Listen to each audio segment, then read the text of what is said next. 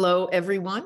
This is Nina Olson, the Executive Director for the Center for Taxpayer Rights, and this is our second tax chat in the series Transforming Tax Administration, um, funded by Arnold Ventures. And we're really happy to have you all here.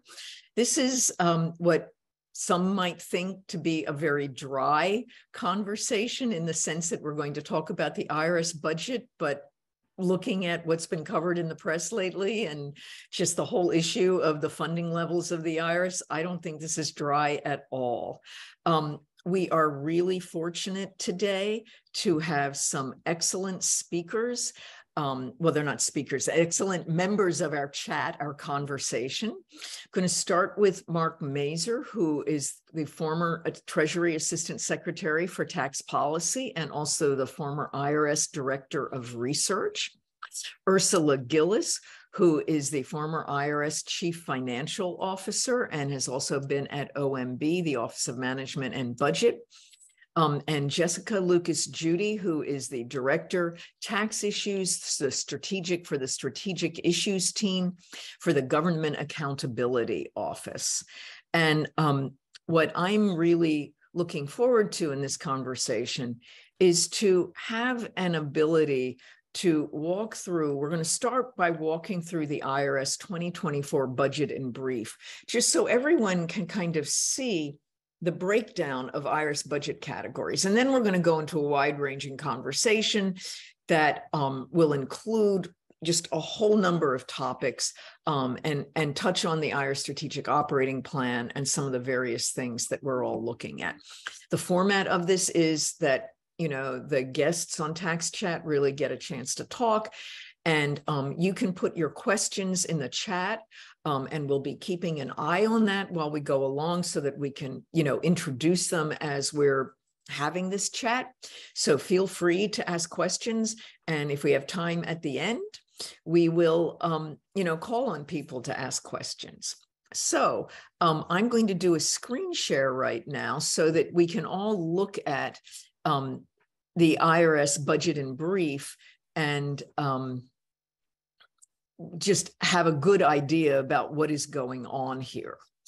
Um, so this is from the 2024 budget of brief, and I'm going to turn to um, Ursula to really, you know, we can talk through some some high level issues and then go deeper into it. So what you're seeing with this chart is um, what the, the columns are representing what the IRS had in its plan um, for 2020, fiscal year 2020, and what actually was spent. And then what you have for fiscal year 2023 is um, what was enacted um, because we're in fiscal year 2023. So we don't know precisely how much the IRS is going to spend. And then fiscal year 2024, you have the columns of what the IRS, the president has requested from the IRS.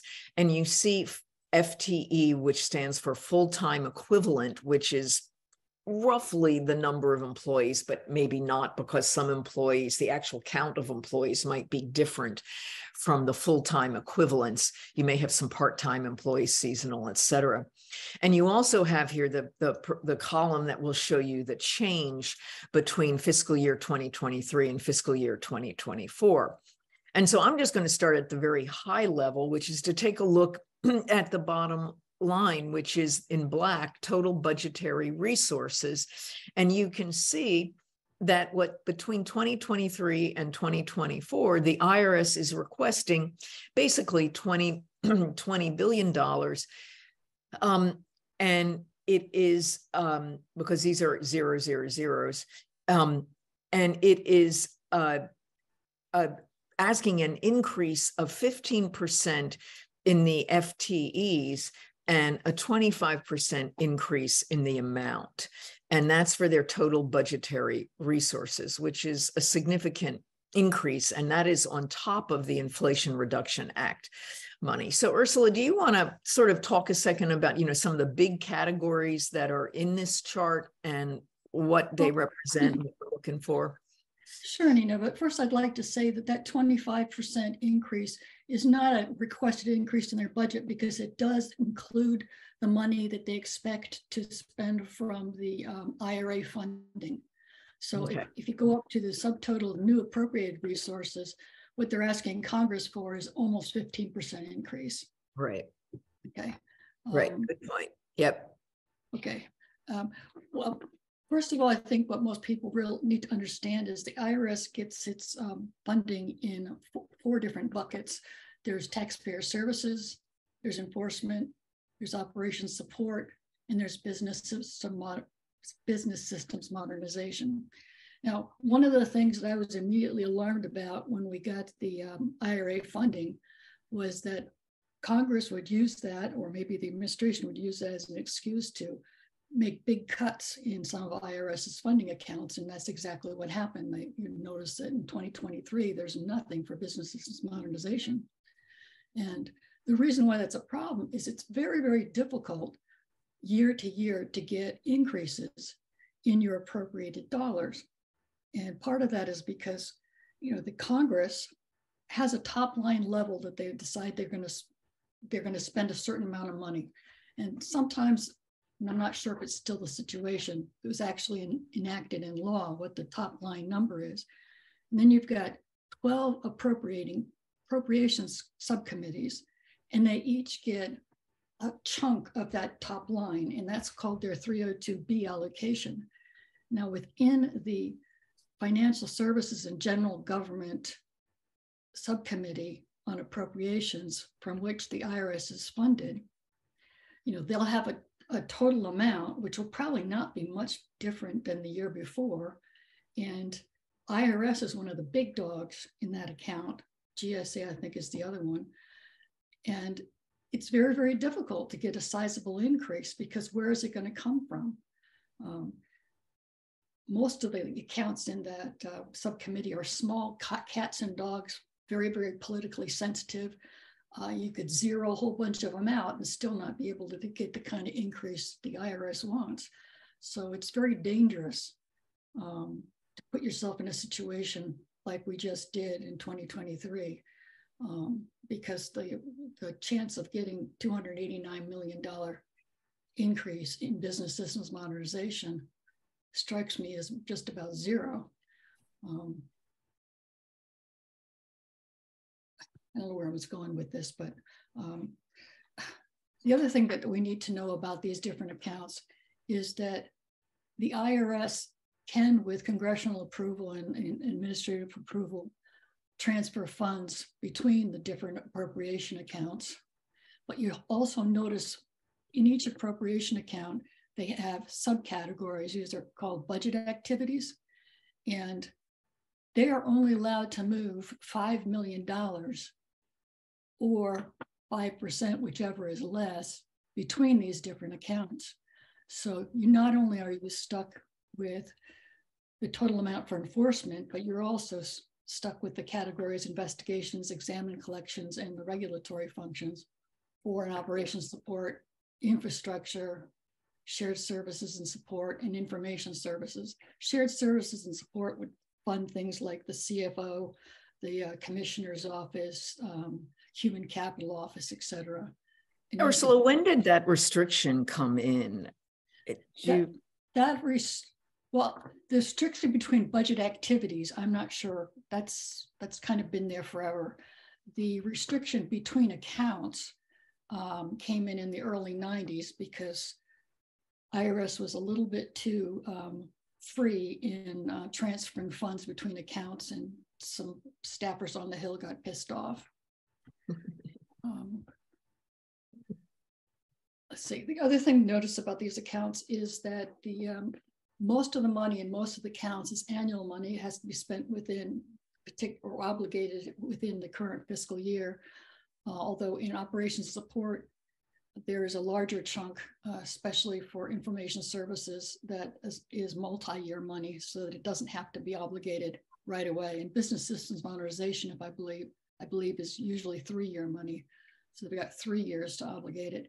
And that makes sense because you don't want to start a project in IT that you can't finish. And so budget rules require you, of course, we sort of skirt around this sometimes, but they want you to obligate the full cost of the project up front so that you know you've got enough money to make it through and you don't have these these projects that all of a sudden die because they ran out of funding.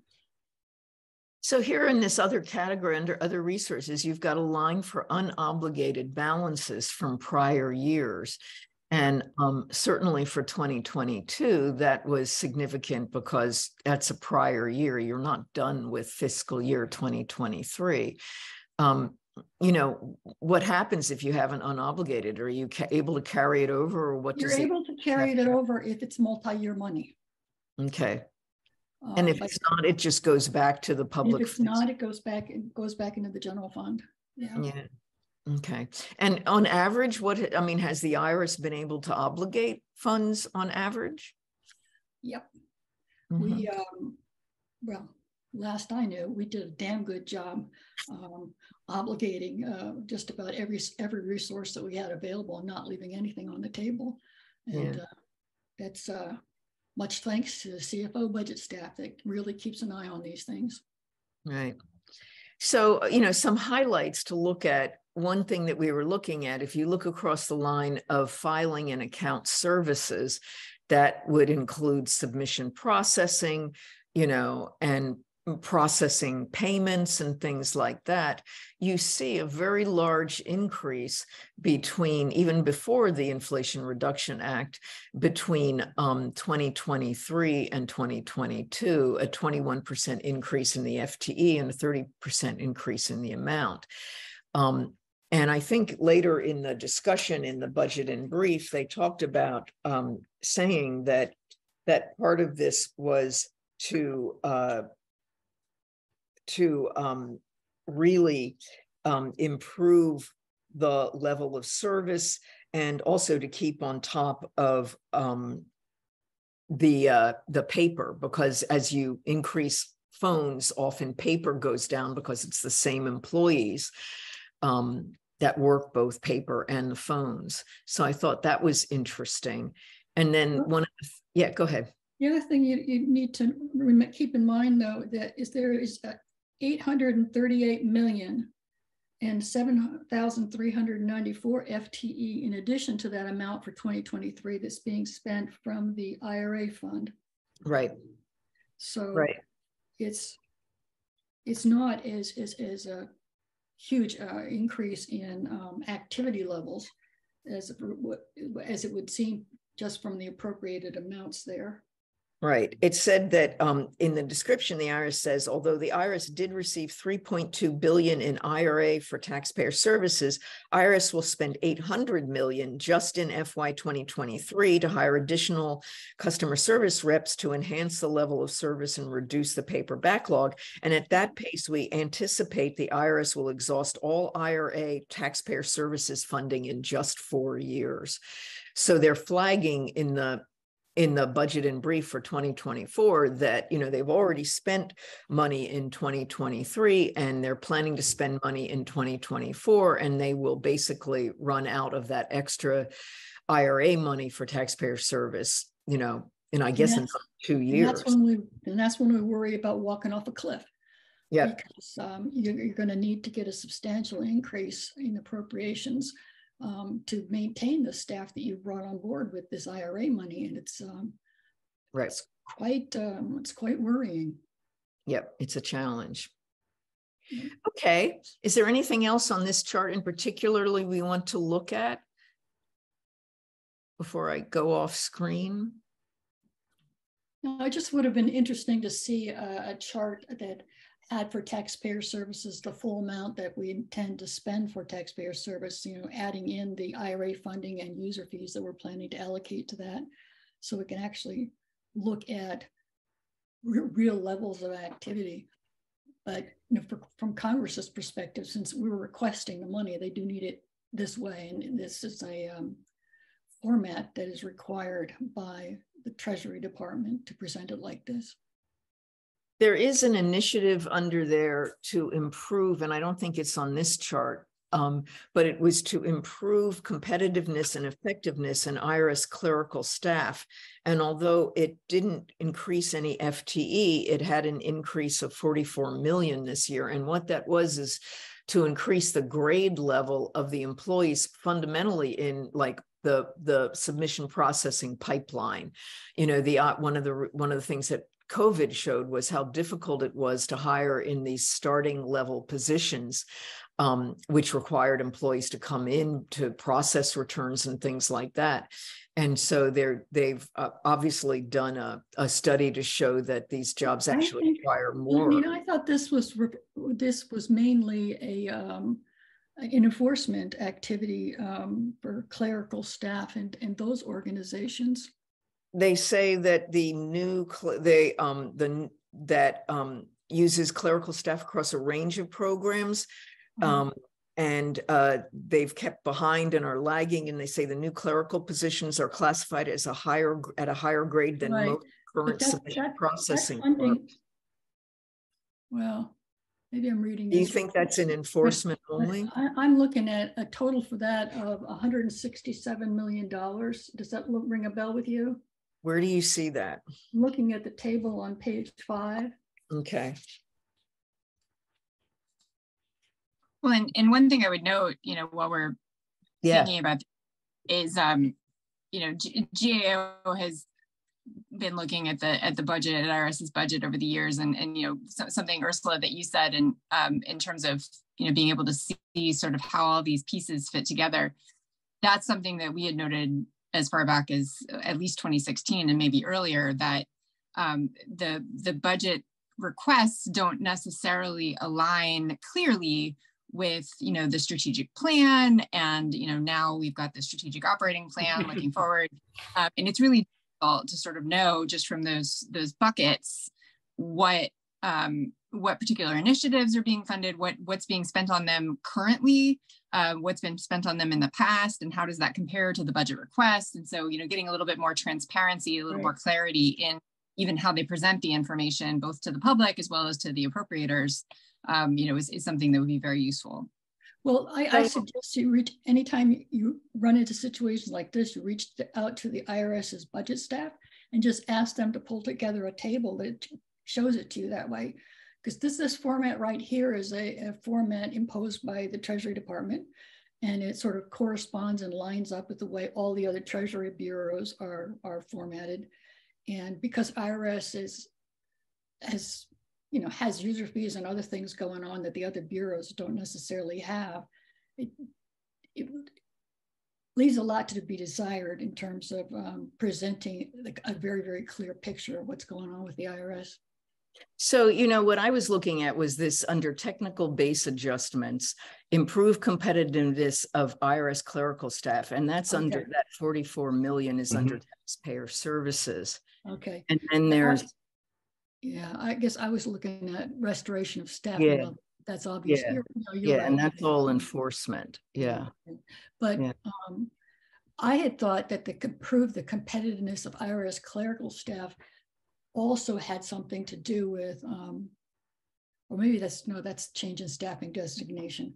Um, trying to make people full time, which makes so much yeah. sense because and that was that's just, really an important provision right there so I mean, just for the the viewers you know for filing season often the irs historically was hiring what they would call seasonal employees that would come on before the filing season get trained up again and then and then be let go by June something of every year, if not May, but to just deal with stuff that was coming in attributable to the filing season.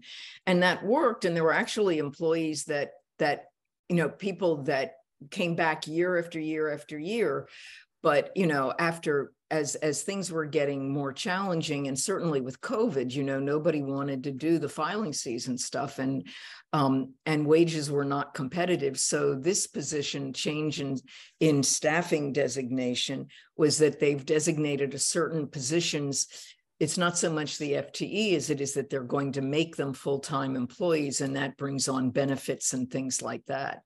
Do you want to comment on that, Ursula or Jessica? Oh, uh, my comments been, I had been arguing since forever that we should be trying to make these people full-time people and that there's certainly other work that we can find for them to do at other parts of the year. It's, it's crazy lo losing people that have been trained.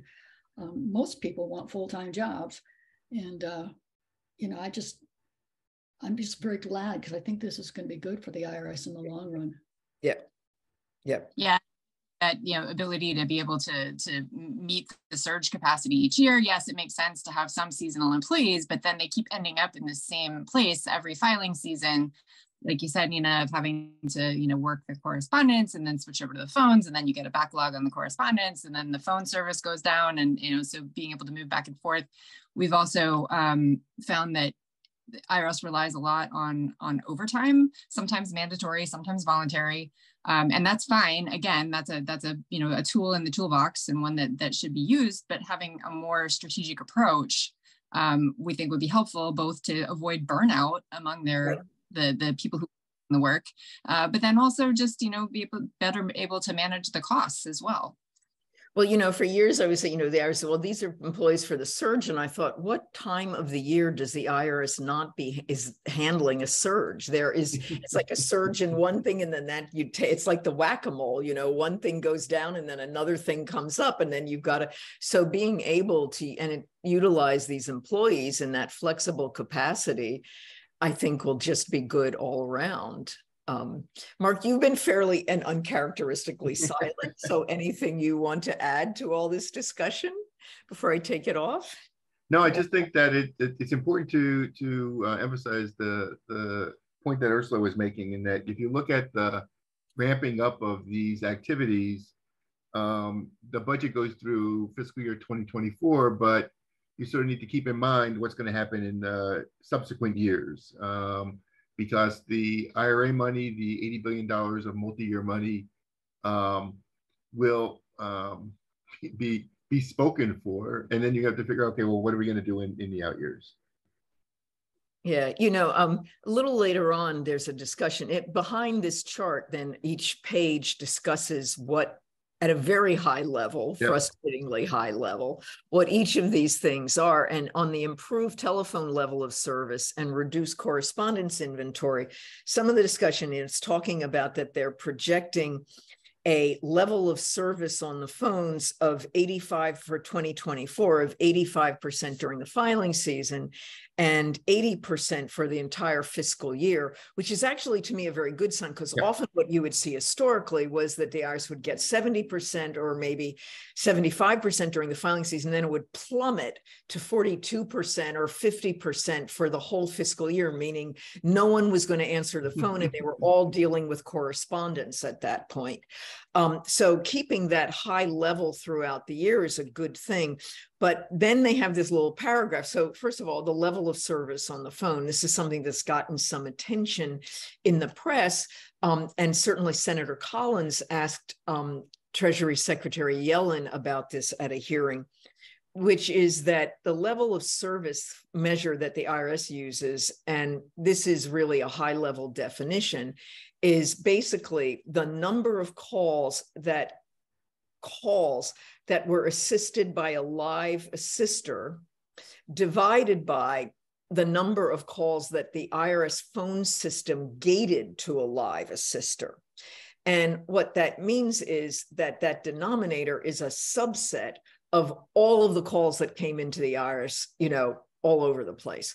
And what and so it's not really what we have argued and the inspector general has argued is that that's not really a reflection of the taxpayer's experience because it's the IRS that is deciding. It's the IRS's system that's deciding do you get to a live assister or do you get to an automation an automated phone line? And the ton of people who are going to the automated phone line may want to actually talk to a live assister but they may not get to that live assister so we had been saying you need an alternate measure that shows the number of calls that get through to the live assister divided by all the calls that came in. And the combination of those measures will show you a broader picture of what's really going on on the phone line. And you also want to know the defaults and the abandons and everything like that. And you also want to know the number of callers who were repeat callers that, mm-hmm. you know, maybe went to the automated and then that phone number came back in on the phone line and finally managed to find their way through the assister. There's no way on the phone system to hit zero and get to a live assister. You know, the IRS doesn't let you do that. It used to, but it doesn't. So what they say in the budget of brief this year is that they're going to create an alternate measure called LOSA, which is for the automated calls. And what that is, is that it will be, um, they say 34 million taxpayers during fiscal year 2022 received an answer to their questions through automation. I think that's actually a misstatement. They were directed to an automated phone line. Did they get an answer to their question through automation? That's not clear unless the IRS does customer satisfaction surveys to find out did you get an answer to your question on that automation or did you have to go somewhere else? You know, you the IRS doesn't know that. They just know that the taxpayer went through on that automated line but they are talking about developing a separate measure for automation. I'm not sure it's the measure that I would have developed, but I wanted to flag that because I think that's they say that um, the base year is they're they're going to have one of the years. I think the baseline is 2023 this year. So I don't know if anybody wants to weigh in on that point. Yeah, I mean, it's that they keep reporting the level of service. It's kind of this, you know, chicken or the egg thing is that everyone wants to know what's the level of service. They ask about it because it is the one measure that's comparable from year to year to year, that and the wait time. But definitely it's not the best measure necessarily it doesn't give you like you said the full picture and and so having something like the automated line at least gives you a little bit of information um, you know as as a as a caller there there also would be the question of um, people who call in get to the automated line maybe they do get an answer but that wasn't the only thing they needed. Maybe they needed multiple things. They're having to call back again to either go through the whole phone tree or finally get to a live assister. And so that's i think one thing. And then and then I know in both the, the budget and brief and then also in the um, in the strategic operating plan for the IRA funding, there's there's talk of you know developing more automated services and, and things like that, more online um, account information and and the ability to to interact with IRS that way, and that might help as well uh, with people who have multiple questions or um, or even a very simple question and just something that they just they just need a little bit of information and they don't have to sit there and wait online or, or uh, on the phone. Um, and so, you know, that's something that we're going to be looking at with with great interest. You know, um, the Taxpayer Advocate Service in 2016 did a survey, a nationwide survey of taxpayers, and we asked them uh, about, we had a whole series of questions specifically about what channel did you use to get information? And did you get the answer from that information? Did you have to go to a different channel? And it was an iterative question so we could track you know if they started on the on online did they move to phone or did they move to you know what? And um that we were able to see that many taxpayers online did not get the answers to their questions and they went to the phone. And um, we were also able we also tracked that with representative samples for low income and elderly and disabled to see you know whether there were categories that the different channels didn't work. It's a really good study but i would say you know okay so 2016 is a while ago now, and particularly with technology and usage being that uh, as you're looking at these measures, I would think that going forward, and this sort of gets into research, Mark, that you need to do that kind of study, like a yeah. channel study, periodically, like at least every four years. And you also need to figure out, I don't know how, because you can't really do a customer satisfaction survey of people who are hitting online. You don't know who's going online. So you have to do it as a random, you know, until you could mm-hmm. try it with if you had taxpayer accounts, but if they're just going to the website, you won't really you can't do a customer sat survey on that you could actually send one out with five buttons or you something can.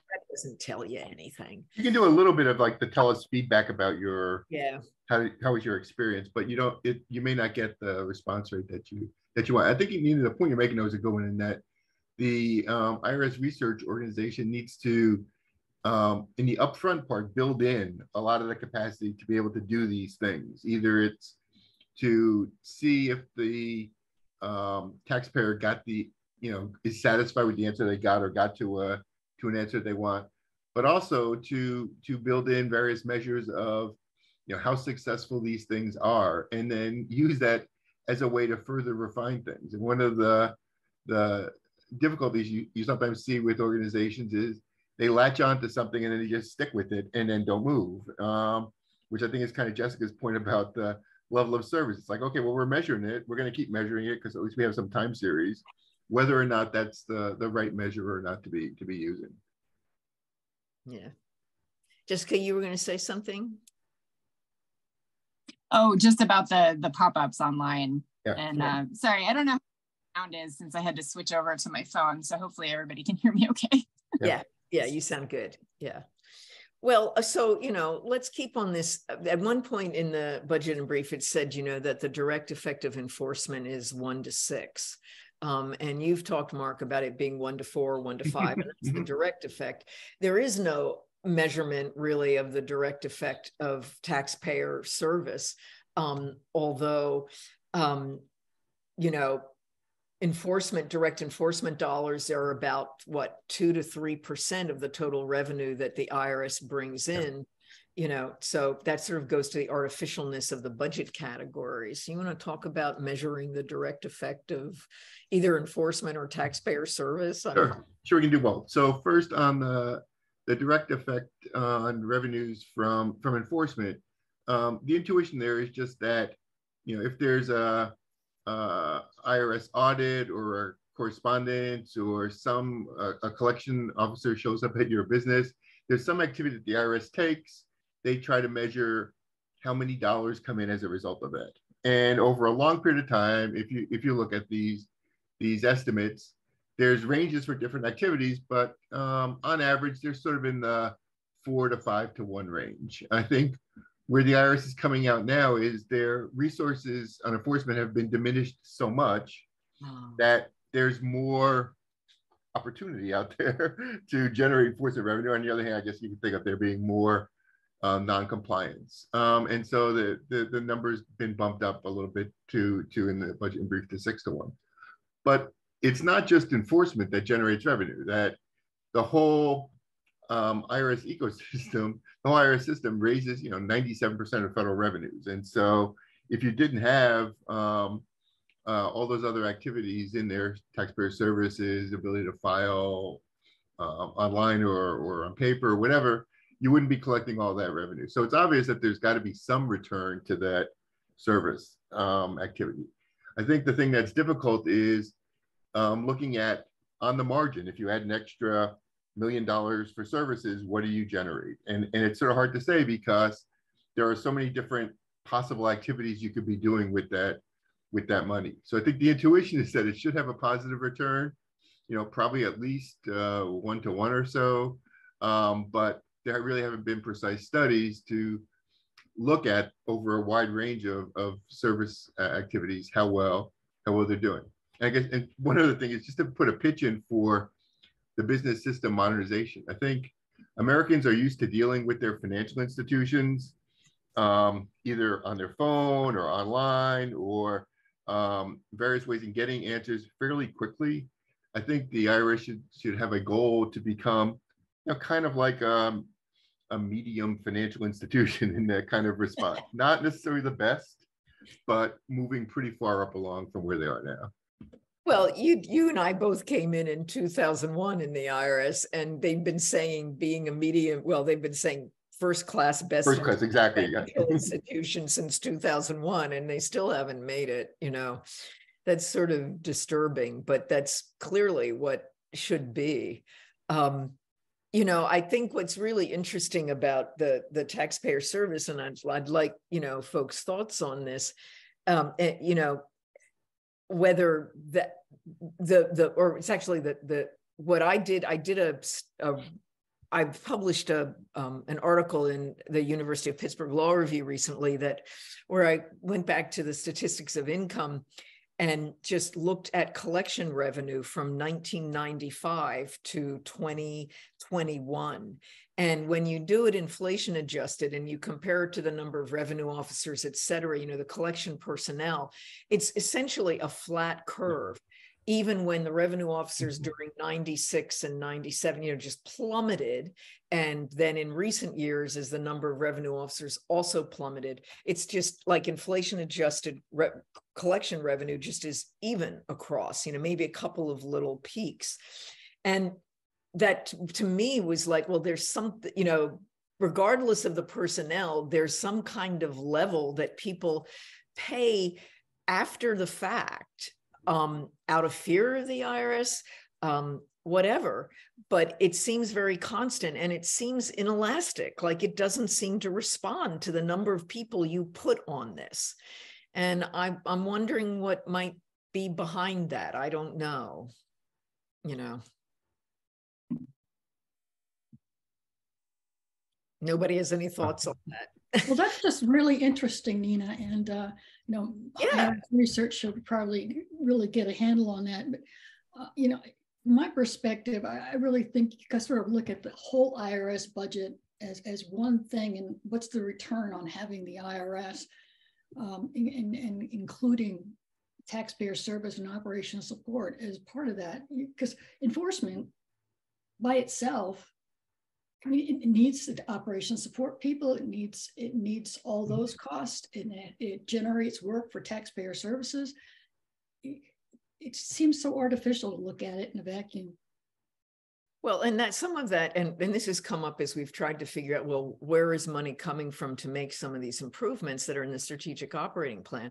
But just for the taxpayer advocate service, we were put 100% in the taxpayer service budget, but 65% of our cases were enforcement cases. You know, they were audit cases, they were collection cases and you know you don't you don't get a good return on investment calculation. You know if you don't really calculate okay this audit start created work for the taxpayer advocate service. And when we're involved there are two employees involved in that case. And you can just say well audits return on investment is what we're not going to change our little pittance you know office is not going to change the calculation very much on that but it doesn't really reflect the work that's generated downstream. And i've been trying to think about holistic measures that would capture you know the whole picture of what an audit start does you know as it does to appeals as it does to TAS as it gets to chief counsel if you're going to exam. And the same thing with collection I don't know, Mark, whether you were trying to do anything of that when you were in research or. Uh, no, I think we are still at the very primitive stages then, trying to trying to understand what is going on holistically. I think that, you know, again, this is one of the areas where the IRS should be beefing up their their resources and trying to understand what the implications are. And I think the the, the points that, that you are making about the the downstream effects are, are, are important. It's also the upstream effects, right? In some sense, the enforcement people need HR to hire them, to train them. They need to get uh, computers so they have the tech support and so on. Um, so it's it's larger than just the number of dollars that go to hire an enforcement person. However, um, the budget scoring of Congress that Congress uses has a different set of incentives, right? In the sense that they get kind of credit for revenue raised for putting money into enforcement, and they get little or no credit for money put into other other activities. Yeah. Ursula, do you want to talk? There was there is a device that showed up in a lot of budgets, but I didn't see it in this year's one, but maybe it was lurking and it was hiding. But that was the program integrity cap that was tried for years. Yeah. Um, I, don't, I didn't notice it in this year's budget either, but you know, it goes back to the um, when I was talking before about how the appropriators get a pot of money and they divide it into the 12 different sub subcommittees. And so each subcommittee is like capped at a certain amount of money. They can't spend more than that.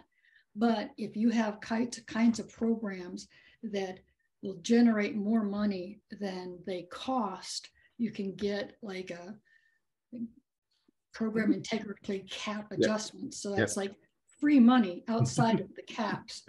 Um, and IRS at some point um, was able to demonstrate the direct revenue generated by specific initiatives.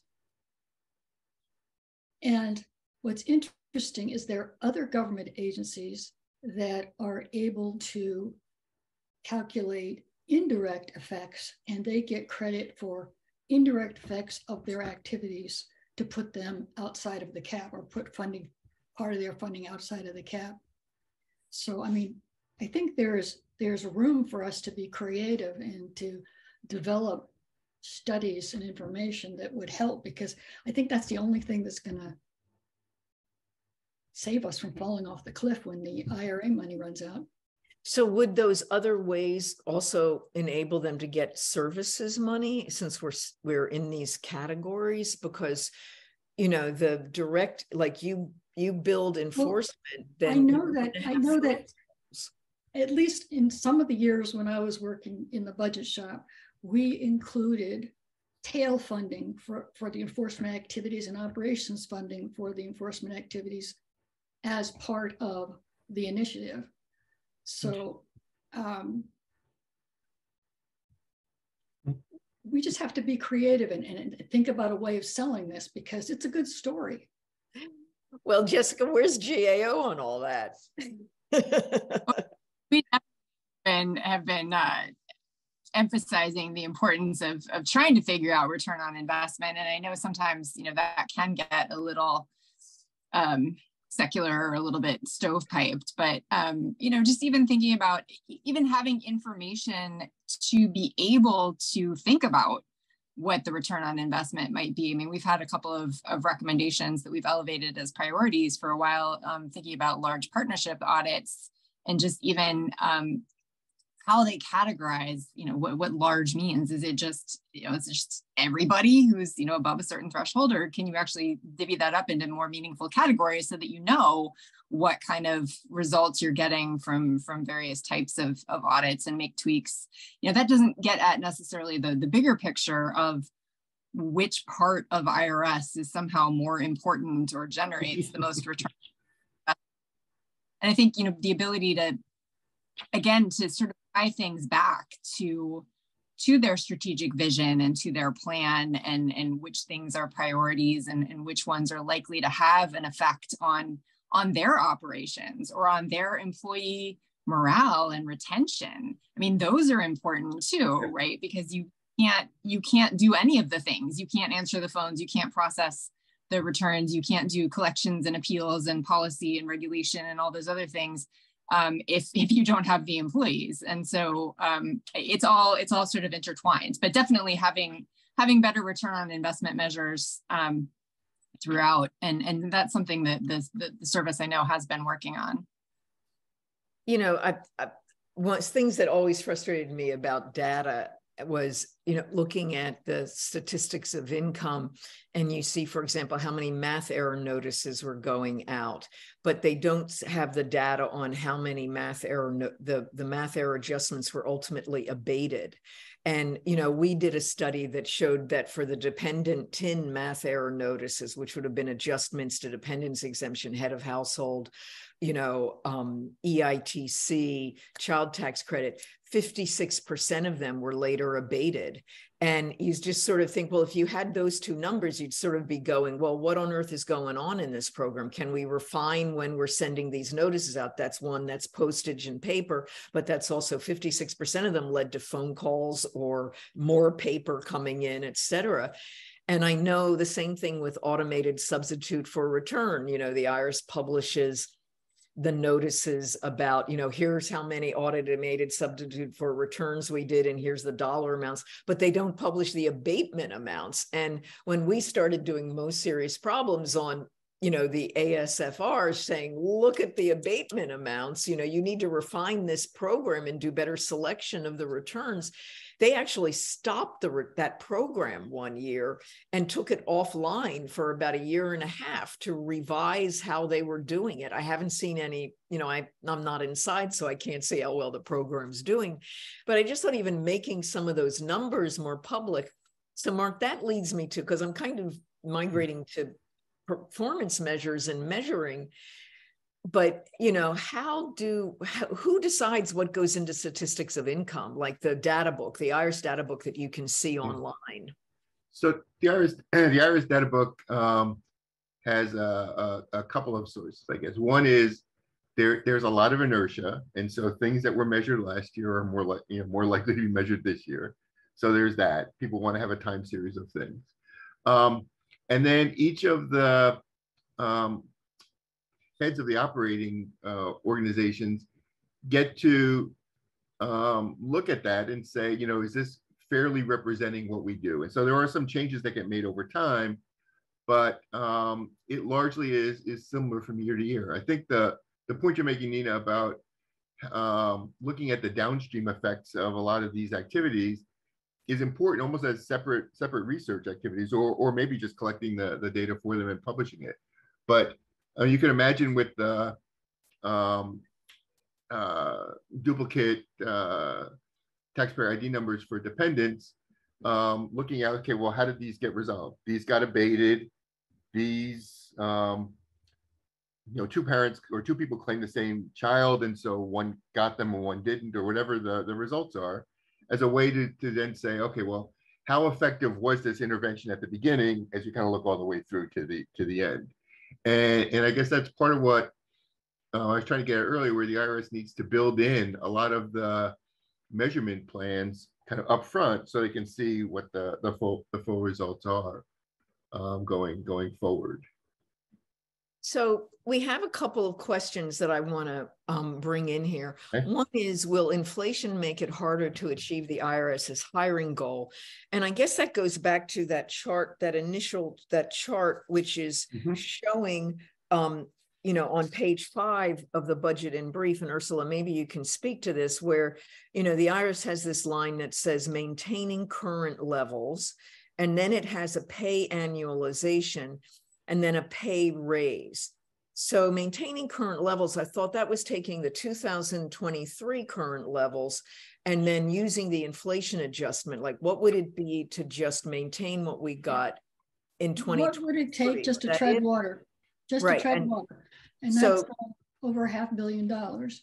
And the pay annualization refers to the pay increase you would have received in 2023 that, that gets paid in um, October, November, and December. Right. uh, and then the pay raise uh, that they expected for 2024 is the cost of the additional pay raise going from January through October.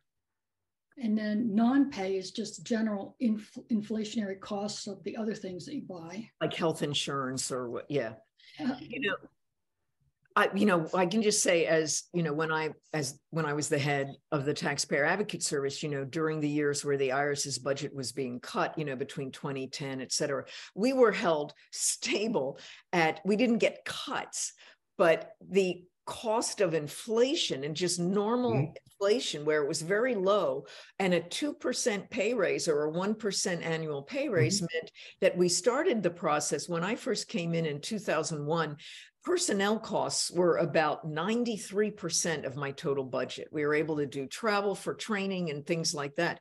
By the time you got to 2015 or something, personnel costs were 98 to 99% of my budget. There was, and that wasn't because I was hiring more people, it was because of pay increases and inflation, and it left next to nothing for us to do anything else with our direct with our budget. Mm-hmm. and we weren't cut and so i think that that to to that question about making it harder to achieve the you know in the in the budget proposal they're trying to account for those things but that doesn't mean that they're going to get that from congress. Right, right. no i think one of the other things to kind of keep in mind too it's going to be difficult to hire in a tight labor market right? So the irs will be competing with lots of other employer employers to try and make these hires. You want to hire top quality candidates, high quality candidates. I think like an underlying um, goal should be try to you know improve the average quality of the organization with every hire. So you want to keep keep ramping up, um, and then you need to retain those staff, and you need to to train them, get them up to up to speed to be doing things, and then retain the staff. And that's going to be a bit of a sea change to the environment you were talking about, Nina, which was pretty much trying very hard to keep our people on board by cutting training and travel and other things so we can kind of keep them there. You almost need to flip that a little bit so to make more investments in your employees to Right. ensure that you can attract high quality people and retain them. And, and also um, attract high quality kind of managers and executives as well. Right. Well, and you know, part of what um, we always had to deal with was the continuing resolutions, which drove everybody crazy. You know, that you don't get your budget until you're halfway through the year. You can't hire people Yeah. if you don't know what your full year budget is. And so, what you're doing, I mean, in a taxpayer service, you're hiring people to get through the filing season, but you don't know how whether you can hire them permanently or are you going. That was another pressure to hire them as seasonals, Yeah. right? Because you don't know whether you can keep them on for the rest of the fiscal year. And then, you know, if you have a stable environment like, you know, TAS or enforcement or something like that, you know, you're going to hold off hiring except all but the bare minimum until you know what your budget is. And if you get that in February, you're running around hiring people, trying to get them on board at the end of the year. And then you're leaving money on the table. So at the end of the year, you're looking at things to spend stuff, you know, and to obligate stuff that should have gone to personnel, but you're not putting it to personnel because you haven't been able to hire the personnel. It's a it's a we- cycle. yeah, and and definitely you know looking at the at the strategic oper- operating plan for the for the IRA funding that's something that that GAO is going to be looking at because again another one of our of our priority recommendations has been on having a, a human capital strategy Mhm. long term those skills gaps figuring out what the challenges are like things like you know the the cost of living increases and the difficulty of hiring in certain markets and, and getting the, the training that's necessary um, you know competitive salaries and and having that strategy in place and then the the markers along the way to be able to know how is this working? Are we getting where we need to go? Where do we need to adjust? So you know sort of marrying those up the the human capital plan as well as the the overall now that they do have hopefully this um you know long-term funding that takes away some of that that year-to-year situation and so you actually can be strategic and thoughtful and proactive in terms of how how you're doing that kind of hiring But it's going to take a change in culture, Jessica, right? Because they haven't had to do that before. And so it really is going to be a, a, a shift in the way the IRS looks at, at things. Well, and the other thing that came out, I think, in the in the pandemic was, you know, the IRS had been working really hard to close campuses, you know, where mail was being processed, all that sort of stuff, you know, to save on real estate. So you get down to, you know, there you are, Austin, a very high cost area. You know, you just closed Fresno, a relatively low, mm-hmm. you closed, you know, Cincinnati, a low cost area, and then you're complaining that you can't hire in Austin. And you know, you understand why they wanted to close real estate because you can save money in that way. But I think that goes to your culture shift. You've really got to start thinking about where are you putting these operations and planning years out and thinking about demographic curves and stuff and and things like that which i don't you know you didn't see in some of those plans you know it, was more just we're going to close to save money you know if we close this space we will save dollars that we can apply to personnel and you understand the thinking behind that but it's reactive thinking it's not strategic thinking Yeah. um, before i really want to turn to the strategic operating plan and Jessica, some of the stuff that GAO is looking at. But um, Don has asked if someone can can go a little bit more into, and I guess that's you, Ursula, into the program integrity cap and how it intertwines with the appropriation. Sure. Yeah, I did notice that question from Don earlier. Um, the idea is that the state administration proposes an integrity cap adjustment for the IRS. Now, in order to count that as free money that doesn't count against the cap, the appropriators have to appropriate the full amount in the base that the, that the um, administration has asked for. And that will sort of trigger counting the, the stuff that's included in the cap as above and beyond the amount of money given to the appropriators for that particular subcommittee. So that particular amount of money will be appropriated, but it doesn't count against their allocation. Did that answer your question, Don? Yeah, I think that's good. And then Ursula, how does that free up then additional money? Well, money's everywhere. I mean, Right. it's, No, but you, you appropriate like an extra ten million to the program integrity cap, and then that allows you to spend an extra 30 million somewhere else? No, it, it's, say the program integrity cap is providing, say, $50 million for the IRS to do X, Y, and Z. Mhm. And that's on top of, say, a $14 billion base budget request. If the appropriators appropriate the 14 billion, 550 million amount for the IRS, then the 14 billion counts against their cap and the 50 billion is free money. It doesn't Okay, count it. against anything. So it doesn't rob it from someone else, which It is does not always. rob it from someone else. With No, the cap, you know, are you going to take it from the courts? Are you going to take No. it from, no. where are you taking it from? There are all these in each of these subcat, sub, you know, appropriation subcategories under the cap. There are different competing, you know, right, No, it doesn't take it from anyone else. right?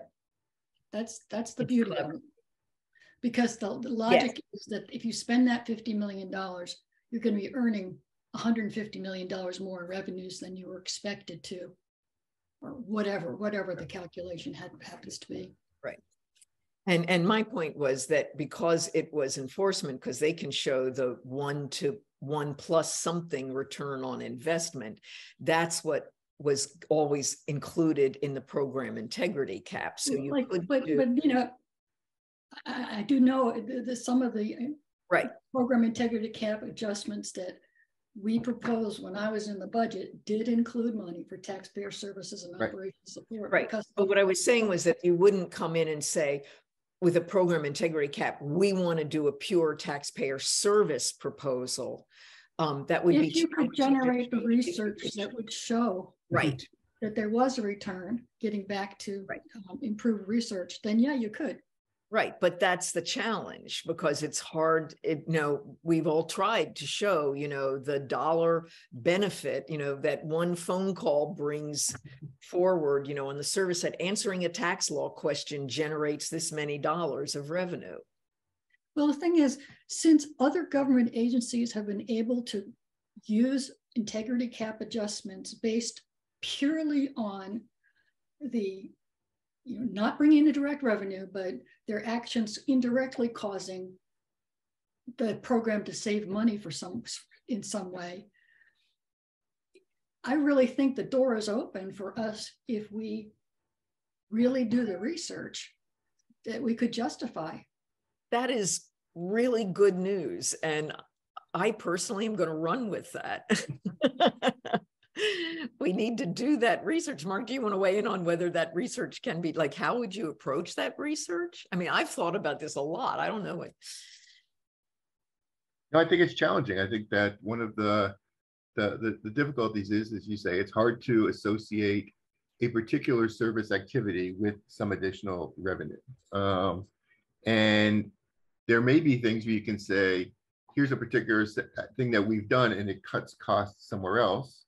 So Mhm. maybe something like the, where's my refund um, on the website has reduced, you know, thousands or millions of phone calls, and maybe you can count that as, as savings. But in terms of like additional revenue showing up, it, it, it will be challenging to, to um, develop those studies. Um, worthwhile trying to do it, but, uh, but it will be Mark, I think one of the things we ought to do is go and look at the other agencies across government to Yeah. find out what kind of research they did to successfully argue for cap. That- That's a good point. So let's see, we do have a question that came in indirectly. What is the data on the impact of dollars directly attributable to enforcement staff activity on revenue received? Does it count only taxes in fact and when collected by the IRS or amounts determined to be owed? And tax, you know, and assessed against the taxpayer, that is, um, including the amount not actually received from the taxpayer. So Mark, you want to take a hint? So it's supposed to be the amounts that are actually collected. Um, and so um, one of the difficulties in doing this is you have to track through from when an assessment was made all the way to here are the dollars that showed up. Um, but um, that's the, the the goal of of doing this um, this kind of research. And there's a uh, part of the Office of Research, I think, that focuses on enforcement revenue and the information systems that support that. So, and it is when I was looking at statistics, like whenever you try to look at enforcement revenue, they attribute the revenue to the unit that generated it. So, like if it's an audit and and then that's audit dollars that yeah. that dollars that were generated by it, is it attributed to appeals? Like if appeals is the one that does the ultimate assessment and then it's ultimately collected does it is it attributable? It, it's supposed to be attributable to whatever started the process in motion. Started the process yeah. so, so i guess appeals would have a negative effect so with taxpayer advocate service yeah okay so we cost okay taxpayer rights cost okay, fine. But am I, like am I correct? Yes. A lot of the me- the actual measures at least um, end up being the amount, the additional amount assessed, like for for audits and things like that, as opposed to the amount collected. In part no, because it's, it's and in part because amount, it's supposed to be the amount collected in the enforcement revenue. Um, okay. Which is why it takes several years in order to come up with those those actual numbers. Right, because things could then go through appeals and exactly. they could go and or yeah. some other um, offer in compromise or something. Exactly, right. especially if you think of like corporate audits, like how long they can take, right, to be resolved. So we have a question.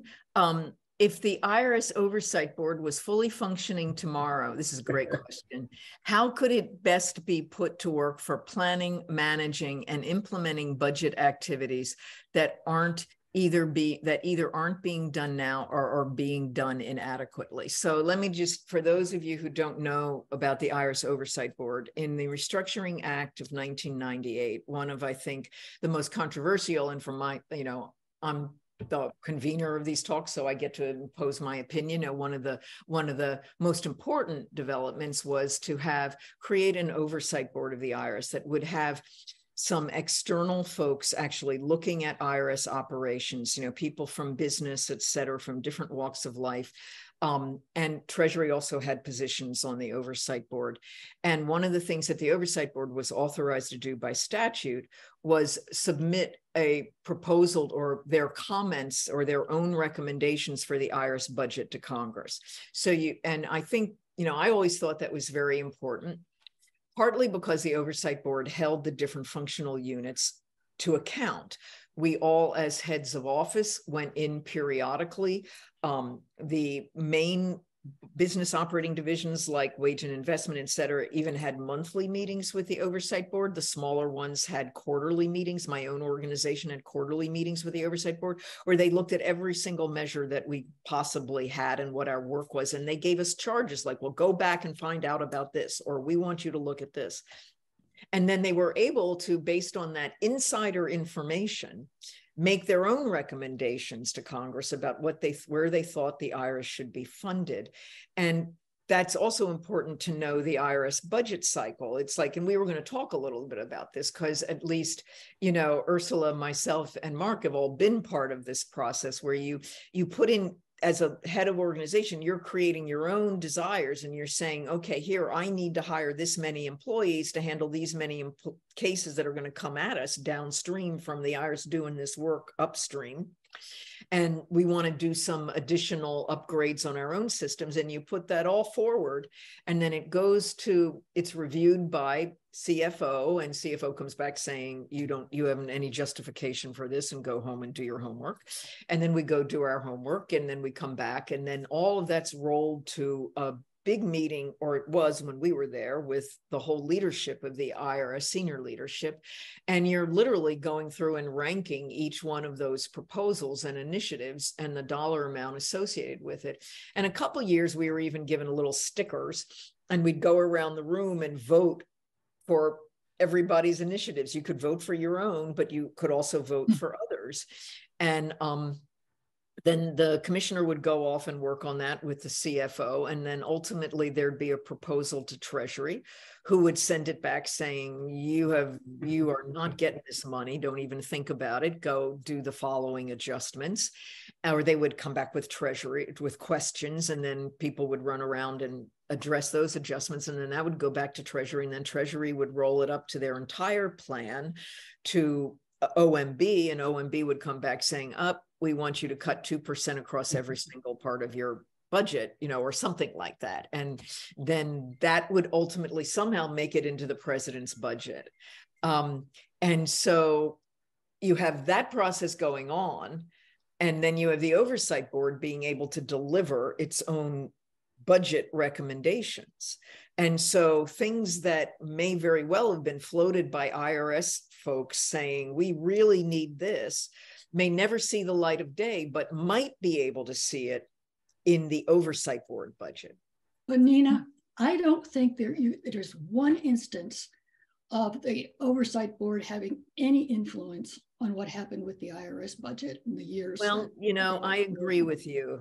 And I and, think and it was just a huge headache having to deal. I mean, you, you, have to deal with it meant, meant you had to pull the budget together earlier and it added another layer of review and commentary in a process that's already rather arduous. Um, you know, unless the oversight board was really giving the business units meaningful advice on how to change their operations or whatever. So for not a budget perspective, but for some other reason, that would be the only reason why I would think it would be worthwhile bringing them up again because from a budget perspective, I don't think they added any value whatsoever. See, I think that's really interesting because, I, and I think I agree with you that toward the end, I mean, first of all, the oversight board was completely like it was three people and then it was down to one person recently. And but when i came on in 2001 i thought that it was an excellent board and that it was very active and it was really delving into the operations of the irs and and holding irs officials accountable. And even up to you know i don't know 2010 there there were things that were they were I could see on the collection side, they would take our data and say, you know, IRS, look at this. What are you doing about this? And nobody else was doing that, um, demanding that accountability. But um, I don't know. Anybody else want to weigh in on the oversight board? I kind of have a, a, similar memory to yours, Nina, that there were times when the oversight board was effective. Um, I think from to, to respond to Ursula, I think when the oversight board thought they were like an additional budgetary organization, that's not very helpful. That's really not their job. And um, having them present a different budget or a different set of of uh, of um, objectives may be helpful, but um, having them create like a, a dueling budget just yeah. really complicates the process. And so yeah. so that was a bit of a, a, a bit of a problem. Remember when they're focused on the business activities and really trying to keep people uh, accountable and having strategic measures and publicizing those measures so everybody knows what the organization's doing in terms of, of overall performance. I think that was a was a net plus. Yeah, and I remember. About, that, go ahead. What about GAO and TIGTA? I mean, you know, they're they're constantly reviewing the IRS and coming up with coming up with recommendations. I mean, I often found. I think, yeah, I, mean, I, I guess I view them as having as having somewhat different goals. Um, I think the the folks at GAO often are responding to congressional in, instincts and insights, and TIGTA is almost almost seems more like on a gotcha mode that looking for things that are sort of um, well, yeah. That's, that's, able that's, to get a good headline. I think you've nailed it there, Mark.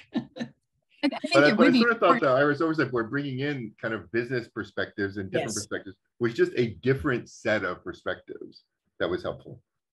Well, yeah. and I also yeah. think one thing that when I was when you know uh, Rob Portman was always a big supporter of the oversight board, and he had some legislation that was trying to modify it a little bit. And one thing I said to him before he retired was, you know, if the IRS is going to get all this money for business systems modernization, you know, it would be really great to say the oversight board has to have someone on it who has done business system modernization in a large entity from outside. So that that way you have someone once a month meeting with BSM, bringing the experience from outside saying, what are you doing? And can actually, you know, monitor it in that way and but it's at a high level but it's also trying to bring in some of these practices that may have worked elsewhere um, without you know that that's my thing jessica you wanted to say something yeah, I was going to say. I mean, the the oversight board hasn't been in existence since I, or, or you know, active anyway, since since I started the tax area. But um, you know, definitely the idea of it having, if if it were to be active, it would need to have very clear roles and responsibilities so that it's not just duplicating or sort of sitting on top of structures that are already in place and, and you know working at, at odds and things like that. But but something that would have potentially this cross-cutting view um, yeah. to to get away from some of the stovepiping that sometimes happens and, and, in things like whether it be in business business systems modernization and online services and web services as well as as customer experience and enforcement all those things you know sort of bringing that all together and and engaging with stakeholders which is something that we've that we've often said that irs itself needs to you know perhaps do a better job yeah, and that was the other thing that the oversight board would do. They would hold a hearing that would invite stakeholders to come in, you know, and talk about it. And the hearing would have a different issue each year.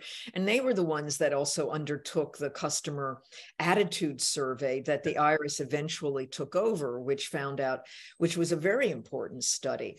Um, so I, and all of that generated in those beginning years of the oversight board they were you know was fresh out of RRA 98 and they were really thinking about what their role was mm. and, yeah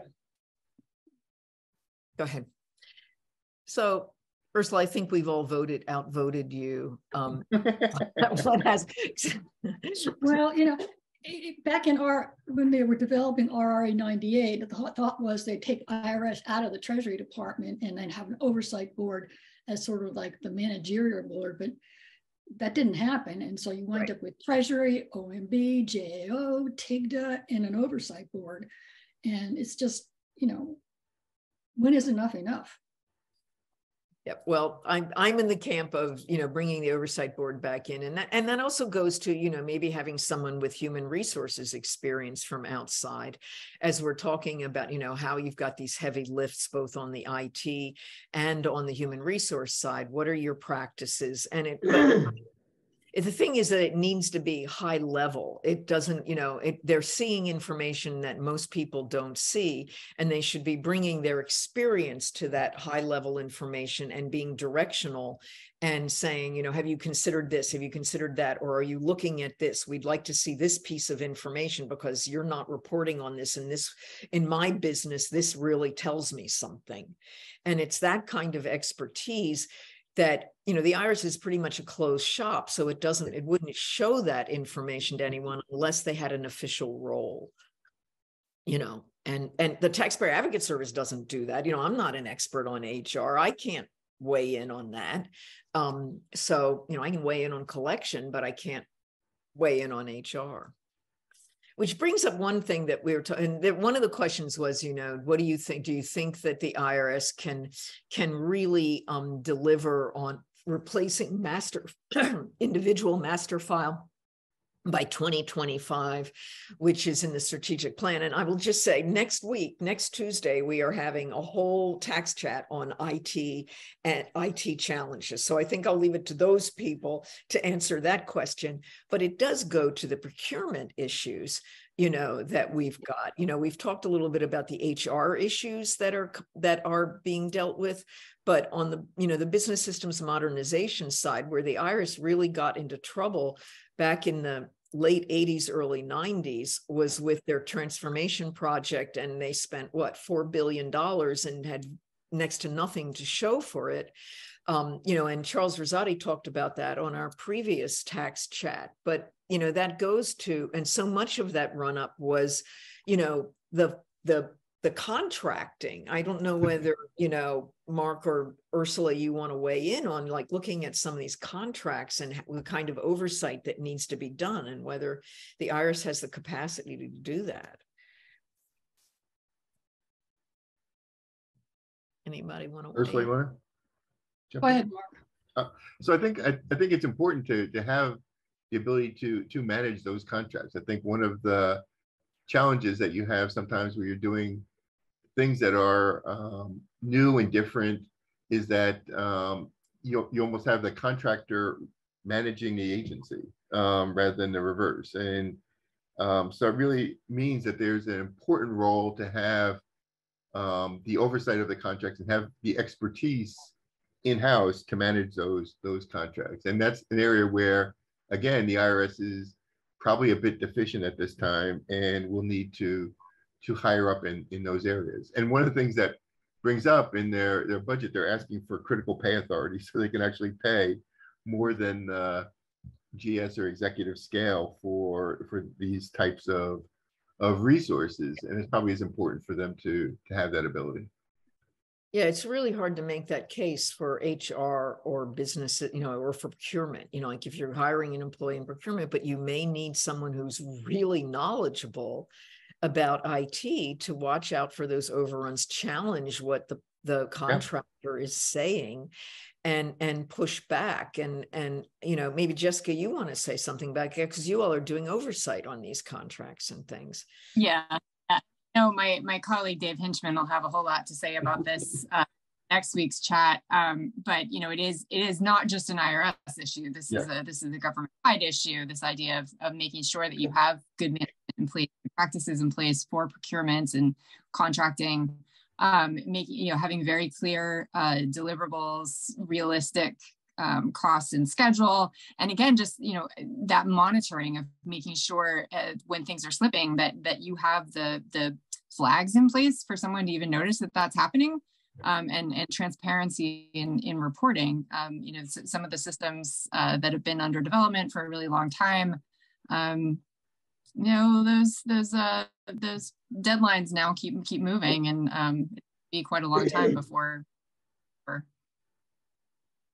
I concur. This isn't just an IRS problem. I mean, I, yeah. I, I, I know that when I first started with the government DOE, it was the contractors running everything, and uh, the managers trusted the contractors more than their staff. And my daughter, who's a PMF right now with the government, she's running into the same thing where the contractors are running the show and uh, she can't understand it. it. Makes no sense at all. Yeah, it's and it and that I think there's a risk there. And maybe that's where I want to go to Jessica to talk about the strategic operating plan. Like what is GAO going to be? I know you've got a bunch of projects going on. So what are some of the prime primary ones that you're going to be looking at to making sure that, you know, the strategic operating plan for the IRA funds are actually is actually on course?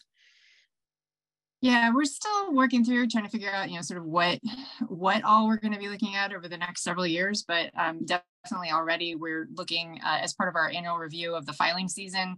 We're looking at um, the extent to which the the funds can be used or are being used um, to to help enhance the the filing season and make the operations go more smoothly. Um, looking at um, sort of the the budget process and and how this uh, operating plan fits into that um, you know, what, what are the requests? How are they prioritized? Um, we're going to probably be looking, I think, at, you know, sort of the, um, again, the, you know, I mentioned the, the challenge in fitting this operating plan, which is sort of both at a, at a program level and at a higher level with the, the objectives, the overall objectives. How does this fit into the other plans that the IRS has developed in the past, whether it be that for our, for um, IT modernization or for um, the in response to the the Taxpayer First Act, you know, they had this whole strategic vision going forward, and and lack of funding sometimes was was um, one of the the areas where it was uh, difficult to actually implement.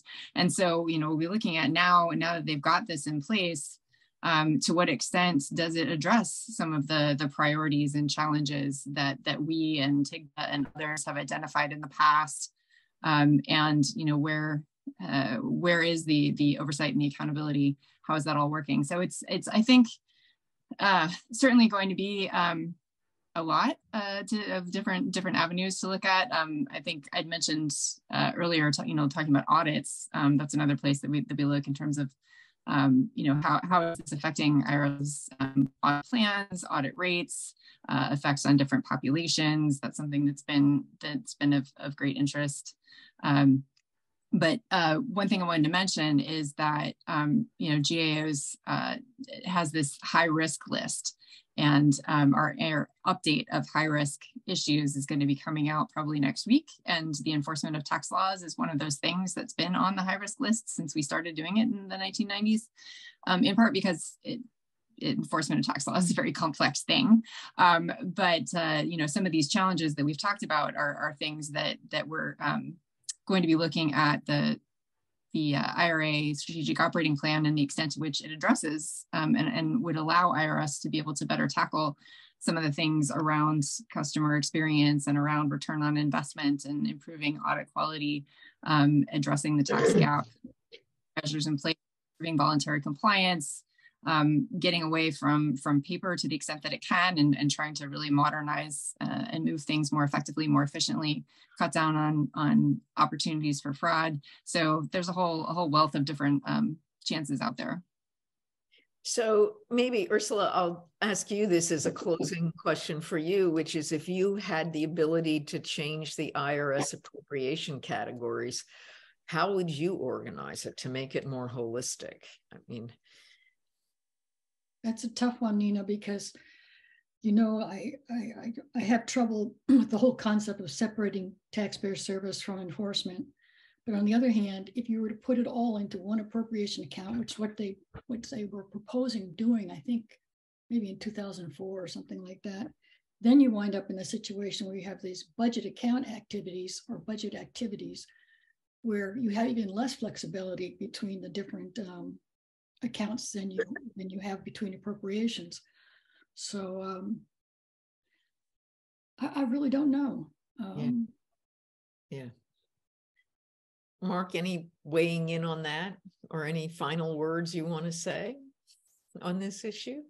No, I just think uh, that uh, GAO is going to have their hands full looking at uh, IRS going forward, especially with the the IRA funds and the, the, the points Jessica was making about the you know dozen or so plans that are out there that need to be coordinated somehow is going to be a big challenge to the IRS management team going forward. Yeah. Be helpful to do like a crosswalk of them all to kind of see, you know, but it would probably look like the Enron charts or something. One of the things, Nina, I, would like to say is that um, at one point around the time I was leaving, we had a uh, proposal where the, the, the service organizations would charge the businesses for their services. Yeah, that's interesting. And that and and I was vehemently opposed to this particular process uh, proposal, um, although Treasury was on board and my boss was on board because they believed that this would improve efficiency. Um, if you're if you're charging people for your services, you would become more efficient. Well, that's bullshit. Uh, it only works if you've got competitors and no competitors to um, the business units funded by operations support. You have no choice but the IT organization of the IRS to buy your IT. So where these improvements were going to come from, it was beyond me. And all I could see was it would lead to much more frustration and inter-business unit squabbling um, and you know it, it, it, it, would be a disaster I, hmm. I, I think I think um, so whatever yeah. we do with these appropriation hmm. counts yeah. I don't want to set us up in a situation where I think would be worse off than we are now that's that's a really really interesting point. So I want to just address the one other question that we had was can anything anyone do anything about the 2019 returns that haven't been mm-hmm. processed mm-hmm. And the time period for getting refunds is almost up. And my response to you is file a refund suit in federal district court. Um, okay. You know, that gets you at least you're within the time frame and that gets you moving because it's been six months since you filed your refund return um, and that will at least you'll have told that clock um, So with that, there we will be. This is being recorded, and it will be up on our website. And all of you who have registered, we will also be sending you out the link to the YouTube video of this. It will probably be by the end of this weekend, Monday or maybe Tuesday, since Monday's tax day. Um, so um, I just want to thank our wonderful group of guests. They've really made a topic that maybe some people thought wasn't interesting, very, very interesting. So thank you all. And I hope you tune in next Tuesday where we will take up another topic, um, the IT challenges. And then in another week or so, we'll be going to um, talk about the IRS workforce and some of the challenges there. And we'll have representatives from NTEU and actually a member of the oversight board who used to be um, Bob Tobias, who used to be on NTEU. And then we're going to have um, an anthropologist who's going to talk about um, the Swedish tax agency and some of the changes that went on there as they tried to look at the culture of that agency a while ago. So, Nina, if we wanted to watch these things, do we have to register somewhere? I think you're registered, but Ursula, you would, but if not, we'll get you registered. Thank you, because I, okay. I, I'd like to listen in on these. Good. Well, there are about 13 more of these. So Yay. all right. Well, thank you all. This is great. I hope we uh, made things a little less confusing, but we'll see. At least you know things to look for when you when the IRS puts a budget out, and particularly look for the budget in brief document, because um, that will at least give you some information. But then you also know some questions to ask. Okay, thank you all, and we'll see you again. Thank you. Bye. You.